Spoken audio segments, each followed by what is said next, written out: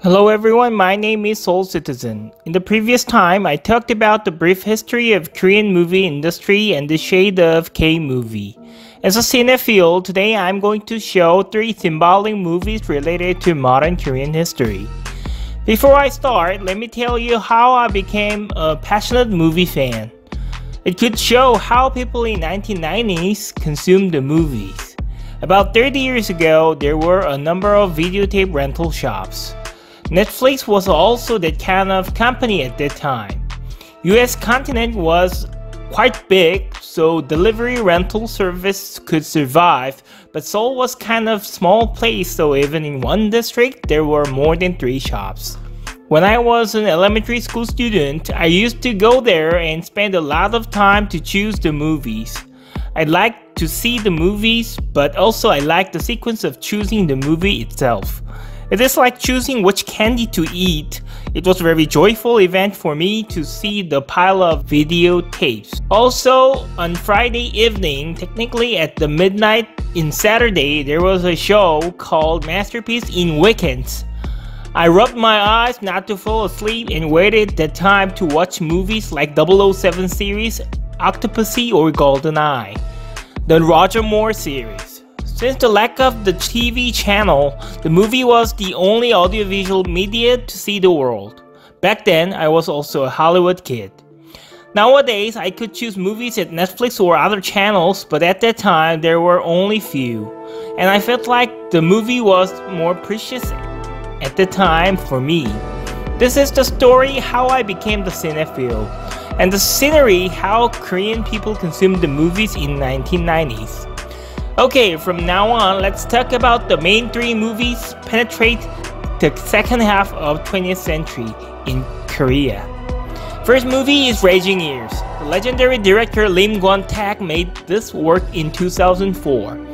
He's quite famous director because he won several prizes from Cannes, Venice, and elsewhere. In recent years, he did not make any films, but more than 40 years he made a lot of masterpieces related to Korean traditional culture.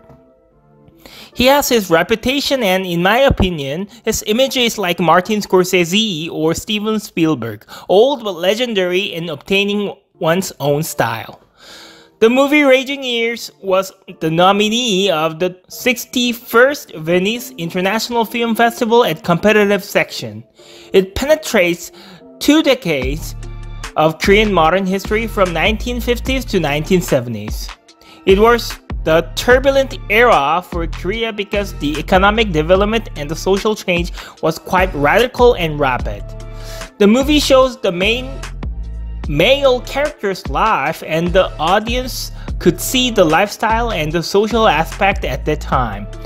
In my opinion, the movie Godfather 2 shows the early 20th century, the golden era of American economical development.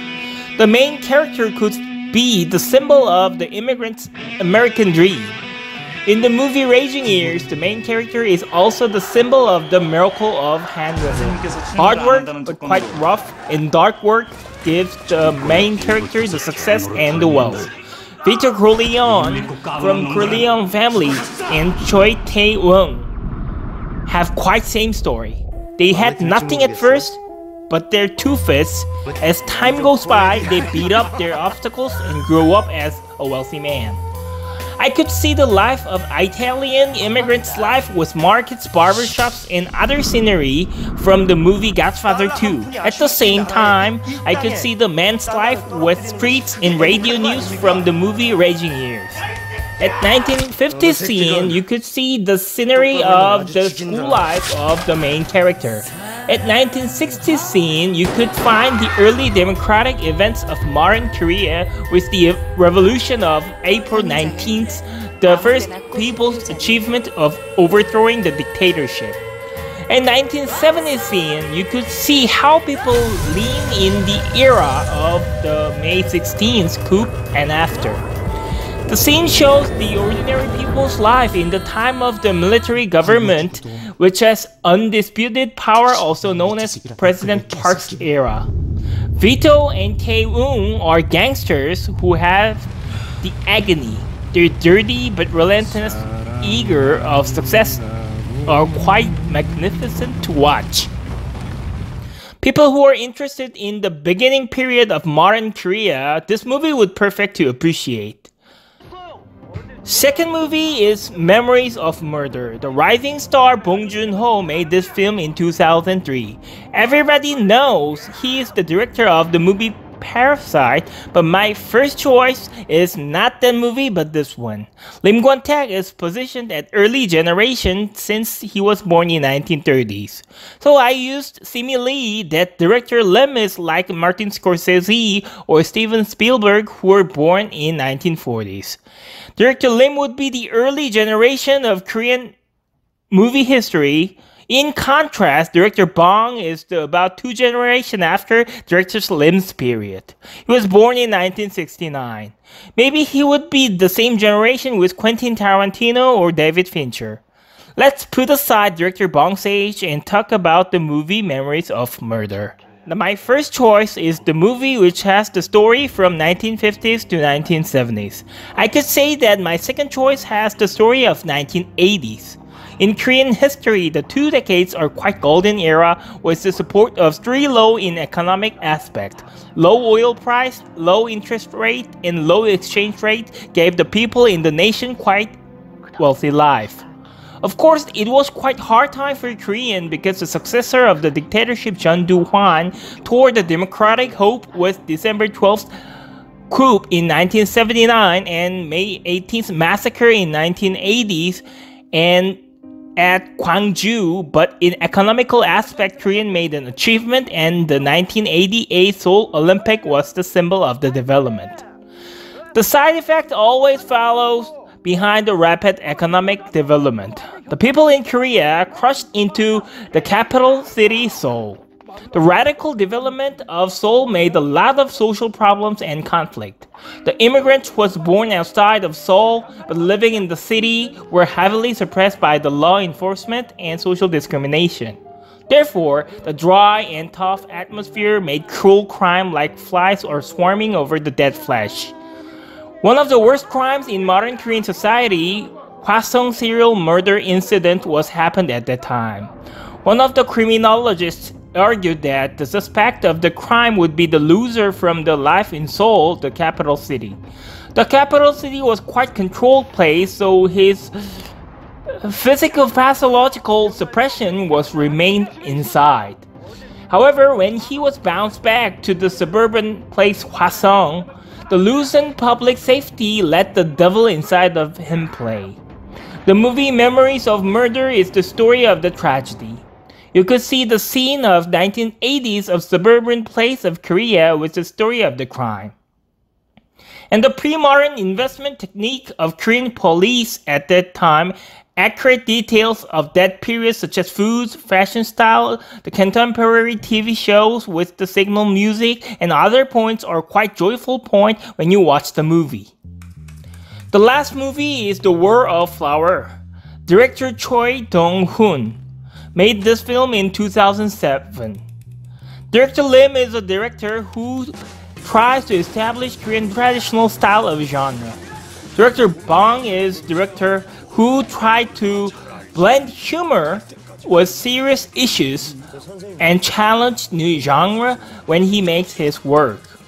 Then I could define director Choi, who was born in 1971 as the master of commercial movies. He's good at making Korean style of Ocean series which were directed by Steven Soderbergh. His work, The Big Swindle, The War of Flower, and The Thieves are all very good action movies. Let's talk about main movie then. The movies originated from the legendary Korean comics with the same name, so the plot was quite solid. I was a person who underestimated the value of comics before making this masterpiece. The War of Flower. After reading 41 books of the whole story, I felt like the back of my head was hit by a sledgehammer. I could not help but saying that it is a masterpiece. The setting of the original book is the late 1950s, but the setting of the movie is 1990s. I have to tell you about 1990s from now. The time is the peak of the miracle of Han River. The luxurious culture with the image of Gangnam, department stores, nightclubs was uh, the evidence of the fact that South Korea was one of the wealthiest nations among Asian countries. People did not worry of their future because it will be rosy as, as before. Like the bubble economic era of Japan, even walking dogs held dollar bills in their mouths. At the time, the gambling prospered around the nation. Korean card game Hwatu originated from Japan, but we utilized the game into our own is the subject matter of the movie. I have never seen the Hollywood gambling movie with noir genre. In the movie The War of Flower, there are joy, anger, love, and sadness. Let me tell you the summary of the plot. The main character Goni lost his sister's wedding budget because of some dishonest gamblers. With the frustration, he came out his home and knocked the master's door to make a fortune at one stroke to pay his sister's debt. Even though he became a master of the gambling skill and made enough money to pay the debt, he could not quit. He was addicted to the tension of the gambling house and the feeling of the touch of the card. People, the movie shows the scenery of 1990s of Korea. Also, you could appreciate the atmosphere of the background gambling culture. After a few years later, Korea faced a number of obstacles. IMF crisis with national bankruptcy, the collision of Sampoong department store and Seongsu Bridge, and others made Korean people gloomy. The time was the terminal of unst unstoppable train. Nobody really reflected on what they are doing before then. However, the crisis was another opportunity. From that time, the nation could radically reform the whole system. I have introduced three movies which penetrate modern Korean society from 1950s to 1990s. From three movies, you could see the entire view of the culture. Thank you for watching and I hope you to click the subscribe and like button. Have a nice day.